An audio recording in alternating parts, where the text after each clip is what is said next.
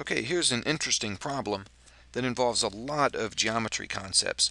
We're given a triangle here, PQR, and some lengths of the sides. PR is 1.8, QR is 2.4, and PQ is 3.0. And we're given a circle here, inscribed in the triangle, and at the points where the circle touches the triangle, some segments are drawn from the center of the circle, so CD, CE, and CF. And we're asked some questions. First, is PQR a right triangle?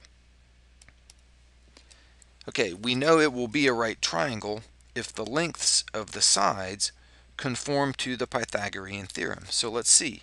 PR, that's 1.8, we can write 1.8 squared plus QR, QR is 2.4, 2.4 squared, that has to equal PQ, which is 3 squared.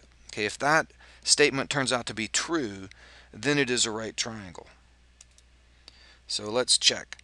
Uh, 1.8, we'll just type this into the calculator. 1.8 squared plus 2.4 squared is 9. That's 3 squared.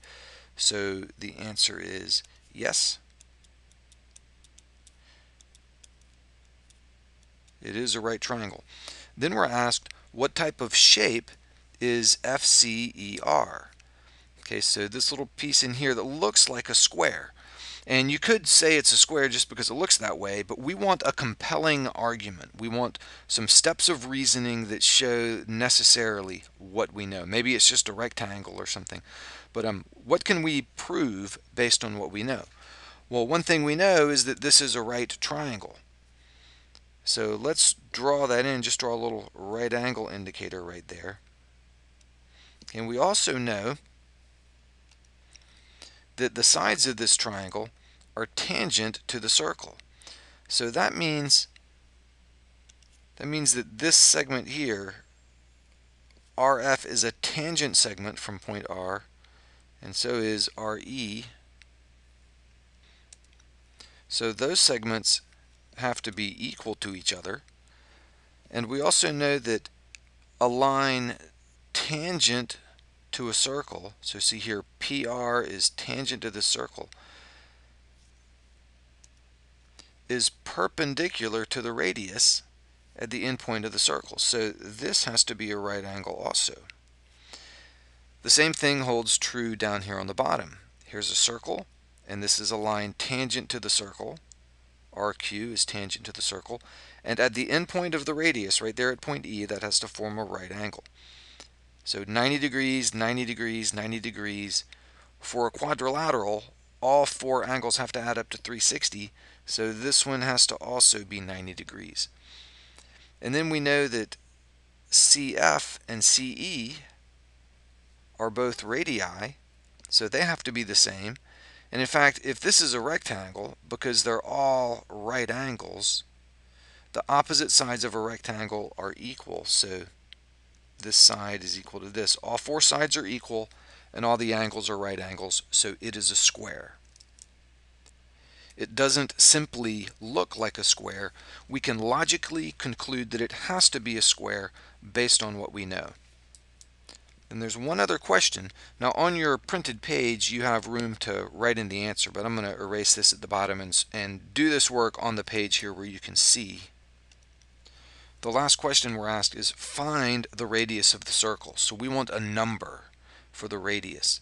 So it could be any of these segments, CF, CE, or CD. They'll all be the same. We want a number for that. Okay, here's, here's how to do this. Let's look at point R here and look at these two sides, two segments here, RF and RE. Those are what we call tangent segments, and tangent segments from a given point are always equal. We already actually know that RF and RE are equal because that's a square, but let's give them a name. We'll call them both A. Now, something similar happens up here at point P.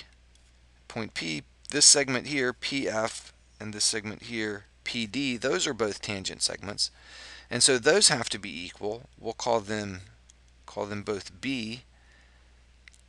And then over here at point Q, this point QE, let me draw that a little bit neater. QE and QD, those have to be the same because those are both tangent segments from po point Q. So let's call those C. Now what can we do with that?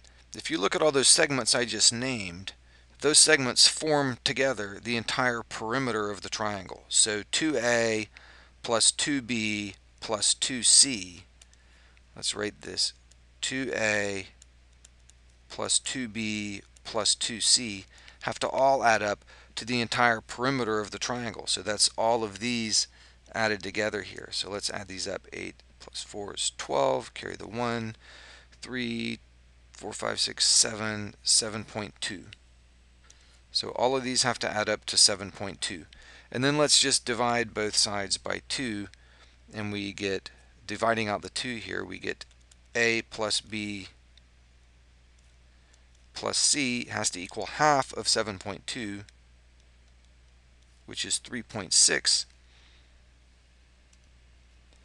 and now I can just do a little bit of a clever substitution here watch this this is um a is right here, B is right here.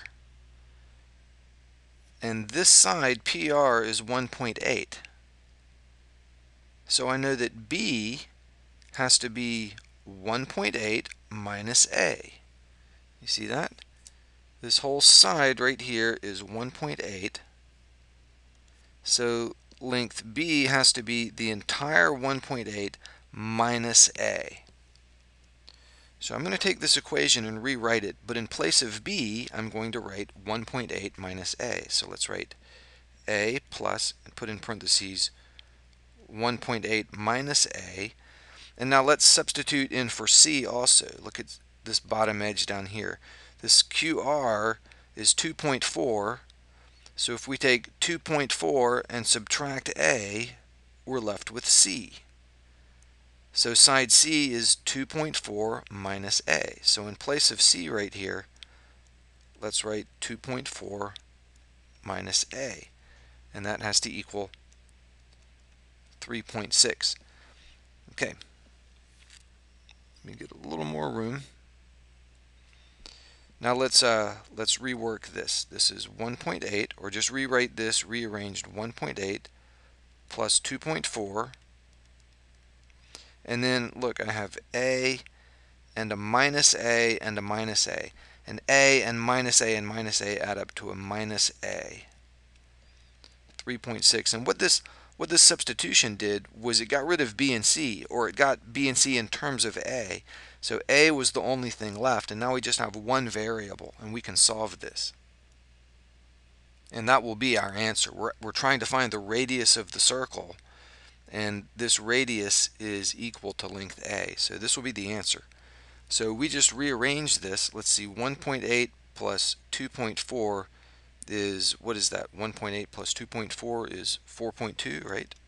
That's right, 1.8, 2.4, 8 and 4 is 12. Carry the one, yeah, 4.2. So I'm going to continue this right over here. 4.2 minus A is equal to 3.6. So A will have to be 4.2 minus 3.6, which comes out to 0.6 for the radius of the circle.